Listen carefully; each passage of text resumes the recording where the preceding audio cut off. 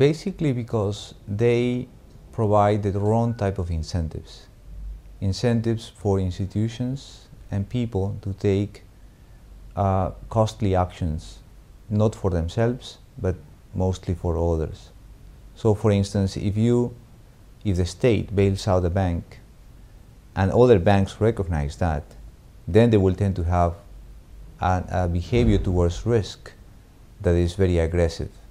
In fact, they will, be, they will take very risky actions. Why? Because they know that if they fail, then the government is going to rescue them. This very simple principle that applies to uh, the way you, you raise children also apply to the way you conduct policies towards institutions. The, the first of, of them is that the, the worst crises are, are self-inflicted. That is, the crises that are domestically originated. So the worst crises don't really come from external shocks or from openness uh, or the vulnerability to those shocks. The worst crises come from things that governments and people do to themselves. For instance, uh, a lack of discipline of fiscal policy um, and, and,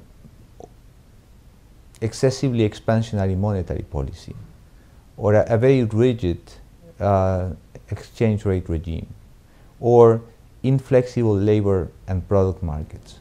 Those are things that really cause crisis in, in, in the end. And those are not caused or produced by, uh, by others.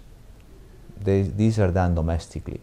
So once we can deal with those domestic sources of volatility, we can reduce uh, the, the type of volatility that is the most damaging to the economy.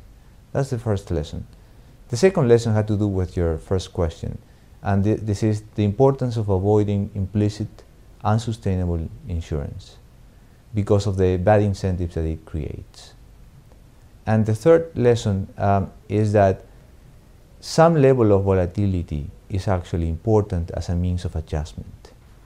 That is, in order to, uh, to, uh, to avoid abrupt changes in, a, in, in, the economy, uh, you need to have certain flexibility in prices and in the distribution and allocation of resources, labor among them, uh, in order to prevent these large disruptions.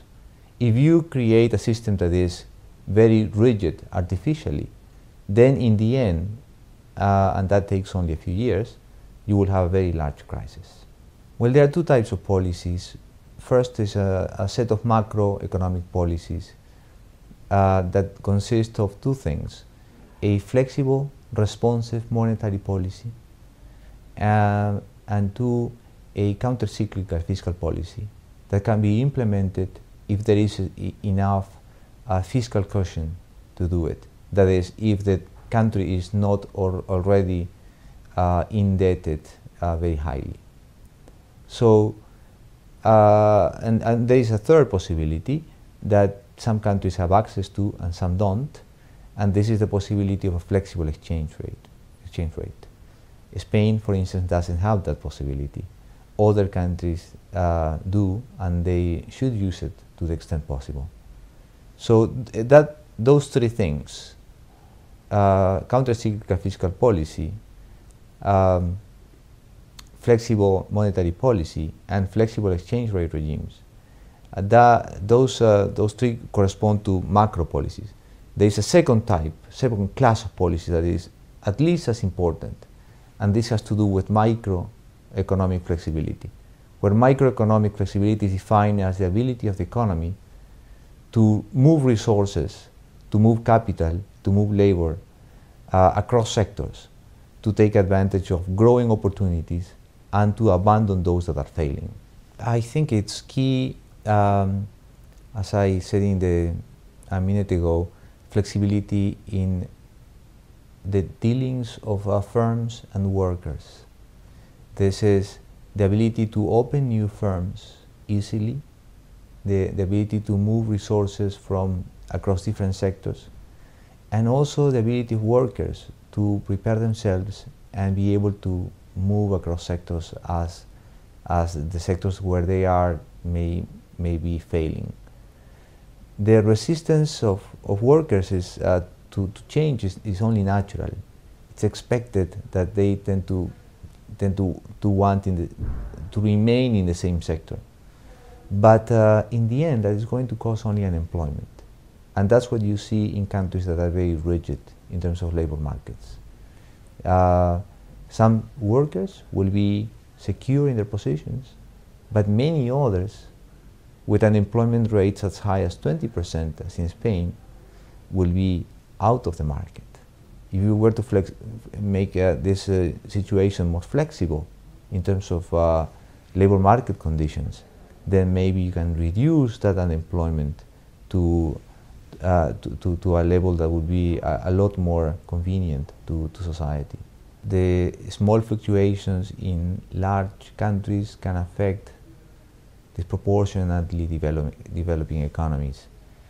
But that paradigm, I think, is not as important now as it used to be. If you remember, um, the in, in the 1990s, there were several episodes of external crisis that were maybe minor in the countries of origin that had a very large effect in Latin America, in Asia, and in Africa.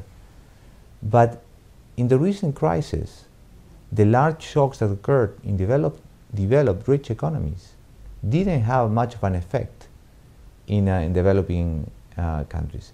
So I think that these countries are becoming more resilient to, uh, to the shocks. And the reason they are becoming more resilient is that, is that they, have, they have prepared for this crisis in the last wave of, wave of reforms. In the 1990s, they underwent a number of market-oriented reforms and also institutional reforms that have prepared them for this eventuality. And now we see the fruits of those reforms. Reforms that were criticized at the moment, but only now see, we see their benefits. For a long time, there, was, there has been a debate as to whether openness can promote growth or not. And what we see is that there is a heterogeneous response uh, of, uh, of growth to, towards openness. Some countries are able to grow a lot when they open or where they increase their openness, and others increase only very little or maybe even decrease their growth rate. So what explains the heterogeneity? And what we argue is that uh, there are some complementary reforms that help openness promote growth. And when those reforms and those situations are, are obtained, then growth can be expanded. So what are they? Having a, an education, a, a labor force that is highly educated, having uh, uh, markets, labor markets, and, and product markets that are flexible is important. Um, having uh, macroeconomic policies that are well disciplined is also, is also very important. And finally, having infrastructure, public infrastructure, that can uh, decrease trade costs is also very relevant. So there is a host of, uh, of complementary reforms that are needed for openness to, to work for the better of the country. It's not just one single uh, uh, policy or reform that can do it, but a host of them. They complement and uh, increase the power of each other. We study terrorism from different perspectives, uh, and one of them, in fact, compares, as you say, the cause of terrorism uh, in rich and in uh, poor countries. And uh, in rich countries, the costs of terrorism are not very large. That's what the evidence says. Even um, the 9-11 terrorist attack in, in, the US that was so large didn't have much of an impact on economic activity in the US. Um, some sectors were affected. For instance, the air transportation sector was affected, but only temporarily. Uh, very soon the economy recovered. But uh, poorer poor countries are, are affected in a much deeper way. Uh, they do suffer when terrorism occurs, and they can suffer for very long. And the main reason for that disparity, that difference, is that these poor economies are not well diversified. So if a sector is hit by terrorism, then they cannot quickly or, or swiftly shift resources to another sector. Uh, so they get stuck in that poor situation until they, they are able to rebuild or reconstruct. Um, and also they, they uh, don't have the institutions, the poor countries don't have the institutions that allows them to, to, to manage the threat uh, and then can be can live with terrorism in, in a very deep and important way for a decade, two decades, even more. Such was the case, for instance, with uh, Colombia, with the FARC, or Peru with the Shining Path. Uh, we lived with those threats for a number of years, and for a number of years they represented very clear and present dangers to, to the country.